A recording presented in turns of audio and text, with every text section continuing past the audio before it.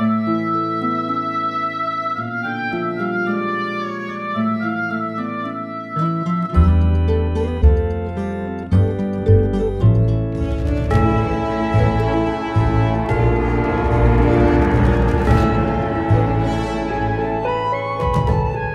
موجود.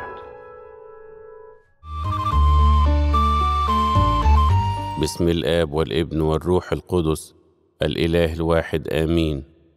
اليوم الثاني والعشرون من شهر كيهك المبارك أحسن الرب انقضاءه وأعاده علينا وعليكم ونحن في هدوء واطمئنان مغفور الخطايا والآثام من قبل مراحم الرب.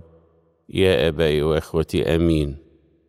في هذا اليوم تعيد الكنيسة بتذكار رئيس الملائكة الجليل غبريال المبشر. وتكريس كنيسته في مدينة قيصرية بفلسطين وظهور العجائب بها وهو الملاك الذي أرسله الله ليبشر زكريا الكاهن بميلاد يوحنا المعمدان كما أرسله ليبشر القديسة العذراء مريم بحلول كلمة الله فيها لخلاص العالم. ولذلك لقبته الكنيسة ملاك البشارة.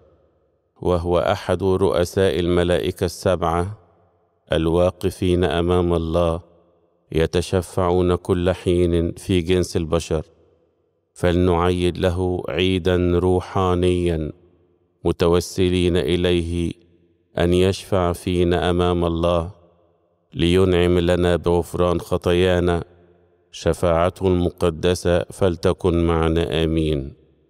وفيه أيضا من سنة عشرين للشهداء ثلاثمائة وأربعة ميلادية. استشهد القديس باخوم وضالو شام أخته. وجسداهما موجودان بجوار جسد خالهما الأنبا بسادة الأسقف الشهيد بديره على بعد خمسة وعشرين كيلو مترا جنوب أخميم. بركة صلواتهما فلتكن معنا آمين. وفيه أيضا من سنة ثلاثمائة واثنين وثلاثين للشهداء ستمائة وستة عشر ميلادية. تنيح الأب القديس أناستاسيوس السادس والثلاثون من بطاركة الكرازة المرقصية تعلم في مدرسة الإسكندرية ورسم قسا ازداد المؤمنون تقديرا له فأكرموه وأحبوه بصدق وكانت هذه المزايا خير تزكية لاختياره بطريركا بعد نياحة البابا ديميانوس.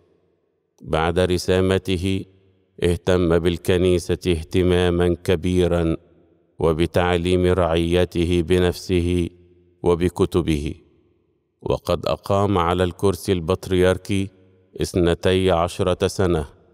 كتب خلالها اثني عشر كتابا رتبها على الحروف الأبجدية القبطية ولما أكمل سعيه الصالح تنيح بسلام بركة صلواتي فلتكن معنا ولربنا المجد دائما أبديا آمين.